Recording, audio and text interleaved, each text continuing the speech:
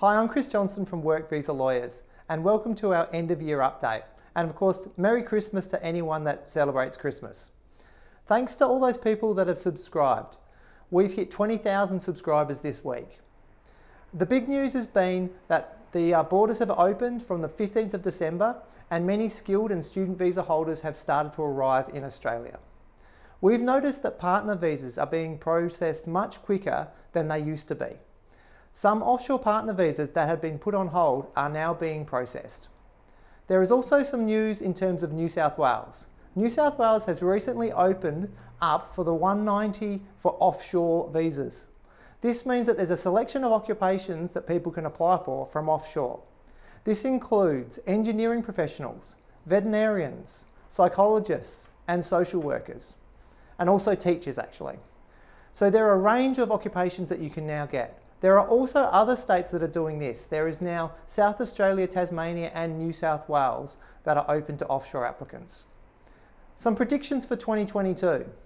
Firstly, we would expect there to be more states opening up to offshore skilled visas in 2022. There will also be a big push from universities and educational institutions in Australia to get more international students. So if, if you're interested in studying in Australia, it might be a great time to start looking for educational enrolments. The direction of the Australian Migration Program may be changed in 2022 and it's all going to come down to with the result of the federal election, which should be in around May 2022. If the Liberal coalition government that is currently in power wins the upcoming election, then we can expect more of the same in terms of migration policies. This would include a focus on the global talent visa. It might also include the easing of some of the requirements for employer-sponsored visas. But it might take some time for those easings to be implemented. The agricultural visa would also continue to be rolled out by our Liberal coalition. If the Labor Party wins, then there may be some changes.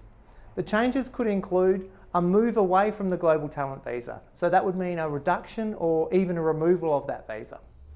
Um, it would also include an increase in GSM visas and particularly the skilled independent visa, the 189, and also maybe the 190.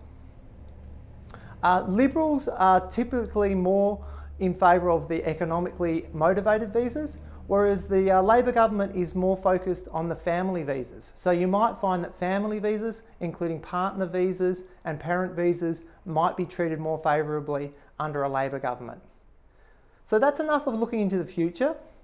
Um, we'd just like to say thank you very much to everyone um, who's worked with us this year, all of our clients, and to all of our subscribers that have helped make this year a very successful year and we wish you all the best for 2022.